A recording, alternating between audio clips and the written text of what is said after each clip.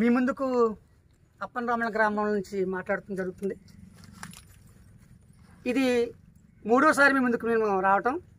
ఇది మూడోసారి గ్రామానికి వరద వచ్చింది. మొదటిసారి వరద వచ్చినప్పుడు మా మా వాళ్ళు పీజీసీఎం మినిస్టర్ నుంచి కొన్ని కిరాణా సరుకులు పట్టడం జరిగింది.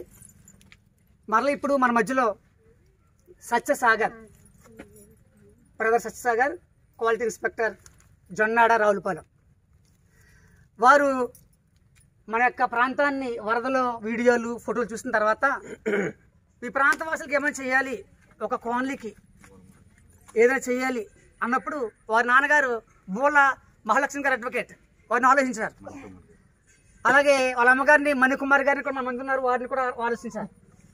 వారి ఇరువురు ఆలోచించారు వారు చెప్పారు ఆ ఒక కోన్ ఉంటే చూపించడం మాకు. అక్కడ కొన్ని కూరగాయలు చెప్పేసి వారు అన్నప్పుడు నేను వారికి ఈ కాలనీని అప్పన్నామలంలో ఈ కాలనీని చూడడం జరిగింది. చూపించటం వారి మాటల్లో మనం కొన్ని విషయాలు తెలుసుకుందామండి. చెప్పండి సార్.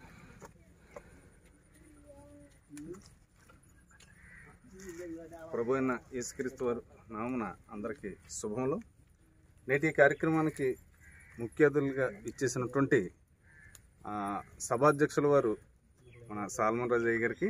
అదేవిధంగా ప్రముఖులు మే మేధావులు సంఘ సంస్కర్తలు విజయప్రసాద్ అన్నయ్య గారికి అదేవిధంగా ఇచ్చేసినటువంటి న్యాయశాస్త్ర కోవిదులు మా నాన్నగారు బోల మహాలక్ష్మి గారు అదేవిధంగా మణికుమార్ గారు మా అమ్మగారు నర్సుగా కూడా పనిచేశారు వారికి ఇచ్చేసినటువంటి గ్రామ పెద్దలకి అదేవిధంగా దైవజనులందరికీ కూడా నా హృదయపూర్వక నమస్సులు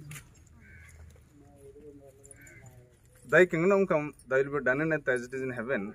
Give us this day our daily bread. Forgive us as we forget debtors. Lead us not in temptation, but deliver us from evil. For thine is the kingdom and power and glory forever. అంటే పరలోక ప్రార్థనలో give us this day our daily bread మా అనుదైన ఆహారం నేడు మాకు దయచేయమని చెప్పి మనం ప్రార్థిస్తూ ఉంటాం అదే అదేవిధంగా ఆహారం అనమాట ఒకసారి మనకి అయ్యగారు చాలాసార్లు చెప్పారు ఒక పాతి సంవత్సరాల క్రితం మా నాన్నగారు ఒకసారి ఒక ఒక ప్రింట్ ప్రింట్ చేయించడం జరిగిందండి ఒకటి దాంట్లో మత్తయి సువార్త ఇరవై ఐదు అధ్యాయం ముప్పై ఐదు వచనంలో నేను ఆకలిగా ఉన్నప్పుడు మీరు నాకు ఆహారం ఇచ్చితిరి. నేను దప్పికొన్నప్పుడు మీరు నాకు దాహం ఇచ్చితిరి. అట్- నీటిని ఇచ్చితిరని నేను పరదేశం ఉన్నప్పుడు మీరు నన్ను చేర్చుకుని ఆదరించుతారని చెప్తారు యేసుక్రీస్తువారు అప్పుడు నీతిమంతులు అడుగుతారు ప్రభు మీరు ఎప్పుడు ఆకలిగా ఉన్నారు మీకు ఎప్పుడు మేము ఆహారం ఇచ్చాము